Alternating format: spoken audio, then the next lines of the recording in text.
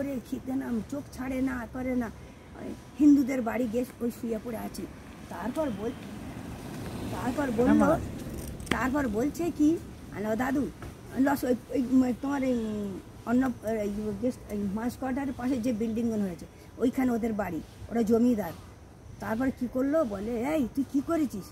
আমি ঠাকুর থান্দে যাচ্ছিলাম আমি বা- পায়খানা ঠায়খানা করেছিলাম না কাপড় চোপড় ছাড়া হয়নি আর এই রকম এবার মাটির ঠাকুর কি হবে?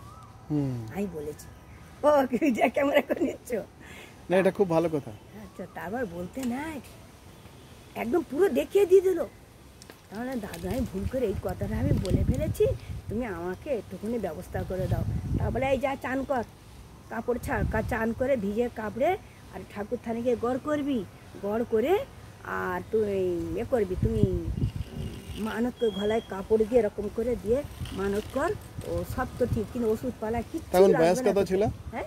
তখন বয়স কত ছিল? কুড়ি বাইশ কুড়ি বাইশ বছরেই আর মাটির মানে- ঠাকুর কি হবে? না দেখো তখনই যখন এই ভাবটা মনে এসছে না তখনই ভগবান দেখিয়ে দিয়েছে। হ্যাঁ আমি সেকেন্ড এটা এটা নিশ্চয়ই জন্ম জন্মান্তরে তোমার উপরে ভালোবাসা ছিল। আর কোনোদিন বাবা ঠাকুর আল্লাহ যে যেখানে ঠাকুর মা সারদা মা তুমি আমার ভালো রেখে দিও।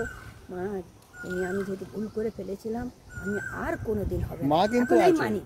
মা কিন্তু আছে কিন্তু। মা মাকে অনেকজনই দেখেছেন বুঝলেন তো? আমি এখন খুব মানি। মা কিন্তু মানে হিন্দু বা মুসলিম হোক যেই হোক সবাই কিন্তু অনুভব করেছে মা আছেন। শ্রী শ্রী মা শারদা আছে আচ্ছা ওই যে রাতে যে আপনি বলছিলেন দুটোর সময় উঠে যে করেন সেটা কি একটু বলে দিন তো? কি সুন্দর একটা বলছিলেন না? আচ্ছা বলতে ইন্নি এবারে নামাজের পাড়ি বসে ইন্নি অজিহা তো অজিহা ইল্লা যে ফতার সামাত আর হানিফা মিনাল মুশরিকিন হয়ে গেল জায়গাটা যেখানটা পড়বে যে ঠাকুর থাঞ্জের আড়ে থাকে না আসন থাকে না আসন থাকে। আসনের উপরে বসে পড়ে নিলাম এবারে নয় তোয়ান সাল্লিয়া লিল্লাহ তালা রাকাতে সালাতে তাহাজ্জাতে সন্ন রসুল্লাহ তালা মাতো আজান এলা জাহাদের কাওয়াতে শরীফত আল্লাহু আকবার বলে এরকম নিলাম তারপরে এবারে আলহামদ পড়ব। আলহামদ পড়ে নিয়ে তারপরে গিয়ে পড়ব। এবার ওই দোয়াটা পড়ে শেষে দেওয়া দেবো পরস্পর পরস্পর তার মানেটা কি হলো পুরো? পুরো মানে তো ওই নামাজটা পড়ে নিলাম। পড়ে নিলে না তোমার যা কিছু দরকার পড়বে চাইলে রাত্রিবেলা দুটো সময়। সবাই করে নাকি মাঝে মাঝে? আজকাল মানে যারা মানার তারা ঠিক মানে। আমি তো মানি আমার বাড়ির ফ্যামিলি মানে। আমার বাড়ির ফ্যামিলি মানে। সবাই উঠে করে রাতে। মানে পবিত্র গা। কোনো টয়লেট ফয়েলেট কিচ্ছু না পুরো কাপড় চোপড় ধুয়ে পরিষ্কার করে চান করে বা সব রেখে দিয়ে পরিষ্কার ওই আসনে বসাই তো আসল জিনিস। হ্যাঁ। আমাদেরও হিন্দুদের হচ্ছে যে রাত্রিবেলা যে ধ্যান করা জপ করা এটা রাত্রিবেলার অন্ধকারে রাত্রিবেলার শান্তিতে নীরবে খুব সুন্দর করে এইটি ওই আসলে হ্যাঁ। হ্যাঁ আসল কথা এটাই। তখন সব শুয়ে থাকে হ্যাঁ। তখন ওটার একটা আলাদা থাকে। আলাদা থাকে এটা খুবই একটা আলাদা জিনিস। এটা ভগবত গীতাতে আছে যে রাত্রিবেলা যারা যাদের জন্য রাত্রি আছে কিন্তু যারা যোগী থাকে তার জন্য এটা সাধনার সময়। তাই আমাকে সবাই বলে বলে তোর তো বয়স হচ্ছে তুই যেন নিয়ম হয়ে যাচ্ছিস। আমি কোথায় থাকি দেখতে পাচ্ছ না? কোন জায়গাটায় থাকি? আমি ওই জায়গাটা আছি বলে আমার শরীরটা এরকম আছে।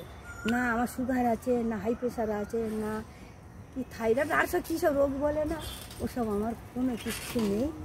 শুধু খালি চিন্তা যদি করি ওই একটু গা মাথা করি সেই সেই। আপনার কি নাম বলুন? কেসিদা বেওয়া। কেসি কেসিদা বেওয়া।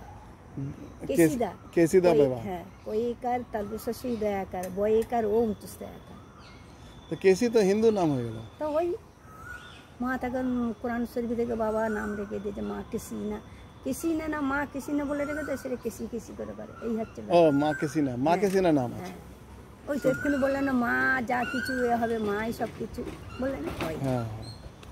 বাহ সুন্দর নাম তা আমাকে আমার ওই নাম দুটো নাম দেবে একটা এই নাম একটা ওই নাম আমার ছেলেদের ছেলে মেয়েদের সব একই নাম আমার ছোট মেয়ে একদম বোকা ও নামাজ কোরআন সব দিবান স্পট কোনো বন্ধ নেই রোজা নামাজ সব বড় মেয়েও দুই ছেলেও রোজা নামাজ কেউ ছাড়বে না এটা ঠিক কথা। রোজা নামাজ আমাদের এটাতে বলছে গীতাতে যে স্বল্পম অল্পস্য ধর্মস্য ত্রায়তে মাহাতো ভয়াত বলছে নিজের ধর্মের খুব অল্পকালেই হোক তুমি যদি নিয়ম পালন করে রাখো তাহলে নিশ্চয়ই তোমার উপরে যে আঘাত আঘাত আসবে সেটা থেকে ওটা বাঁচিয়ে দেয় তাহলে আমার কত আঘাত হয়েছে? অনেক বাঁচিয়ে হিসাবে বাঁচিয়ে দিয়েছে। ভাবো যে একটা চোখ থেকে হয়ে চলে গেলে যদি মাথায় লেগে যেত তো ওখানেই মরে যেত। শুধুটা কিরম কাজে না তাও শুধু মা চোখে লেগেছে আর একটুকুনি সামান্য দেখাচ্ছে। এই দেখছেন এই এই পায়ে লেগেছে। এই লেগেছে আর এই জায়গাটা মাংসটা এখন ভাগ ভাগ এইভাবে ভাগ হয়ে আছে এই মাংসটা। আচ্ছা ভাগ হয়ে এটা হয়ে আছে ইট তো পড়েছে দু তিনটে এরকম।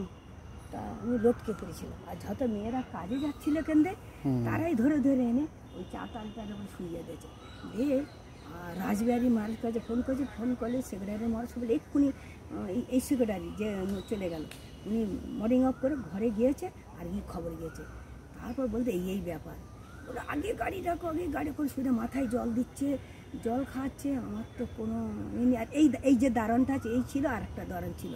এরা সবাই মিলে জল টল দিয়ে জল টল খাচ্ছে তখন আমার ব্লাডেতে পুরো ভরে গেছে, লাল হয়ে গেছে। রাজবিহারী মরে বলতে চোখটা একটু খোলো যেই চোখ খুলেছে ঝঙ্কার মেরেছে ওরকম করে। ঝঙ্কার মেরে উঠেছে। সে মুখের অবস্থা অন্যরকম ছিল এই ফুলে এরকম ভাব। এই কলেজের টাইমে হ্যাঁ। তারপরে গিয়ে এবারে কী করল এরকম? নিয়ে নেওয়ার পর রাজবাড়ির মহারাজ সঙ্গে আমার চার দেশা ফোন করল।